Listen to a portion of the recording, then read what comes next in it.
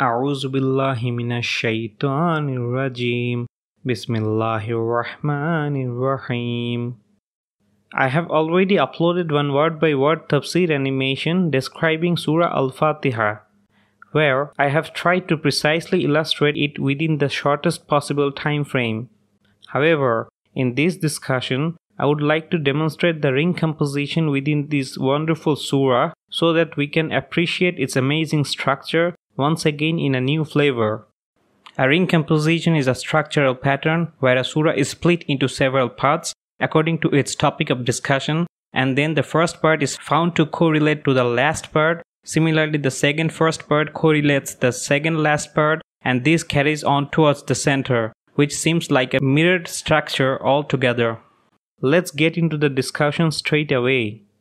The plain literal meaning comes out to be as following All praise and thanks be to Allah, the Lord of the universe, the most gracious or beneficent, the most ever merciful, the Master of the day of judgment.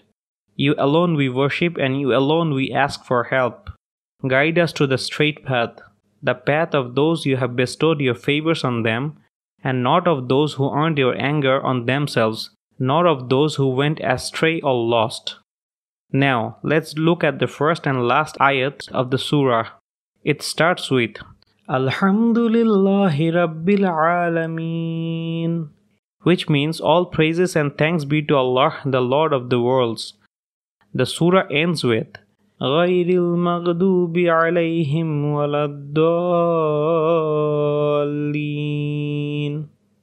which means guide us so that we don't follow the path of those people who earned the anger of Allah subhanahu wa ta'ala and also the people who went astray or lost.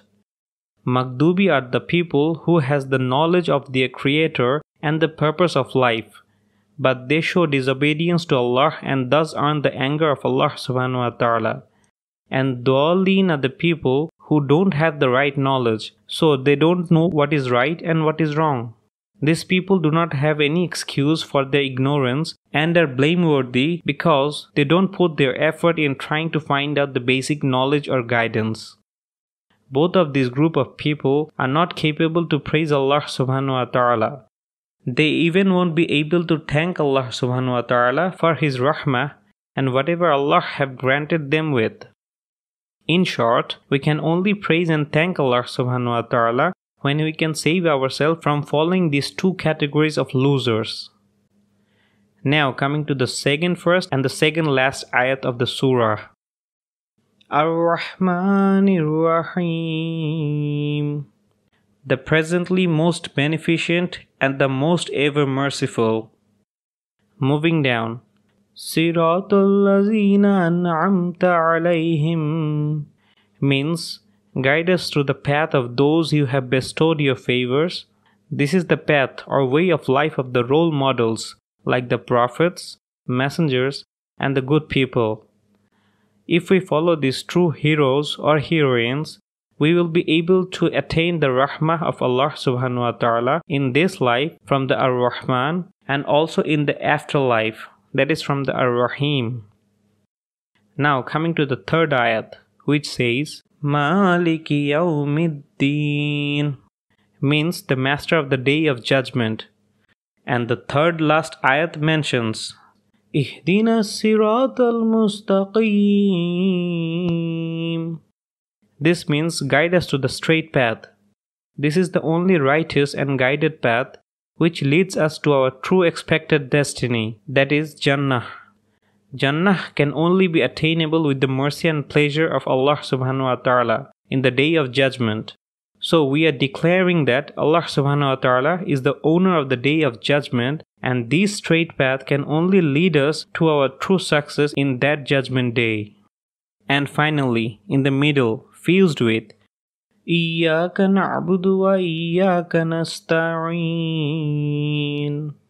You alone we worship and from you alone we seek for help. So, first we submit to Allah subhanahu wa ta'ala and follow his obligations and restrictions. After complete submission, we ask for the help and guidance from no one but Allah subhanahu wa ta'ala. We, being human, are given with our freedom of choice. So, He can only help us when we can submit ourselves to the laws and commandment of Allah subhanahu wa ta'ala. Such a wonderful structural miracle is again found in this surah. Hope you like it and will share this concept to others as much as possible. May God bless us all. Amen. What is your opinion? Let us know in the comment section below. And if you like this video, just hit to the like button and subscribe to the channel. Thanks.